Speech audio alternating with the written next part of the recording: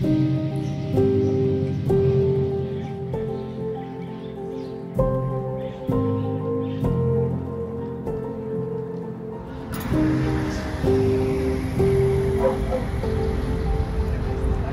cogemos el término vicario lo que significa es que, es que sustituye a, ¿no? Y en este caso, cuando hablamos de violencia vicaria, lo que hablamos es que hay unas personas que están sustituyendo a la mujer a la hora de recibir el daño, que son sus hijas y sus hijos. Esto también es violencia y es violencia machista, ¿no?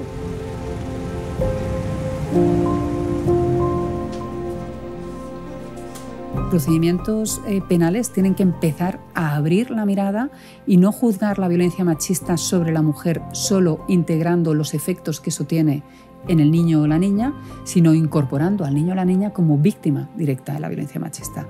Ahí es donde se dice un maltratador nunca es un buen padre, porque lo que estamos diciendo es la patria potestad que ejerce un hombre violento sobre sus hijos es una patria potestad viciada solo se ha suspendido las, custodias en un 12 o 13% de los casos.